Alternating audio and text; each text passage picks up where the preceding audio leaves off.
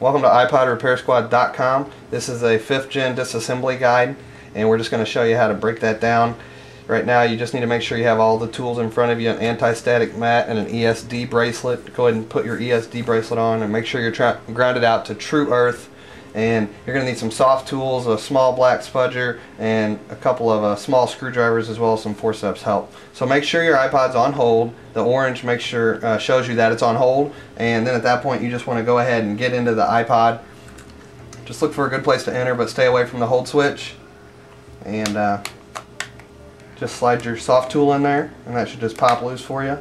Once it pops loose, it is still connected by two ribbons, so you want to be careful and if you can just pan in and get that ribbon right there that's the uh, battery ribbon and there's a brown connector right there which needs to be flipped up in order for you to free that ribbon. So best way to do that is just to get in there with a small tool lift it up and that'll just pop right out. Then you can flip that over as so.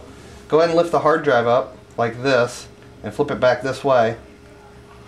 And now what you want to do is disconnect this this little ribbon right here if you can pan in on that. And there's a brown part right there you just want to flip that up just like so.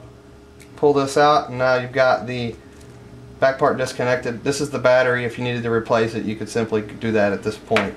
Let's go ahead and rotate this. Take a look at the hard drive. If you pan in on this you'll see a black clip right here. And that black clip is holding that orange cable in there. You just need to go ahead and flip that up once you've got that flipped up, grab your forceps and you can go ahead and grab this orange cable and disconnect the hard drive.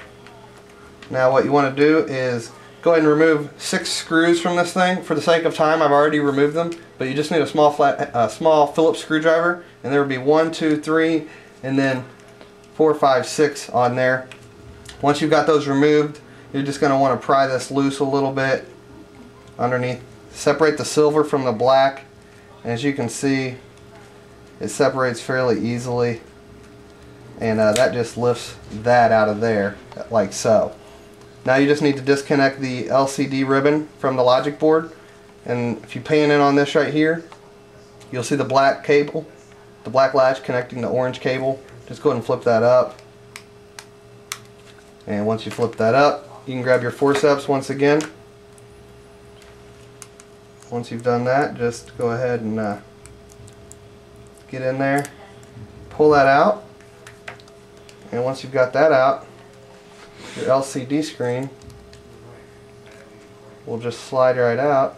You want to be careful about how you pull that out because there's a click wheel in there as well.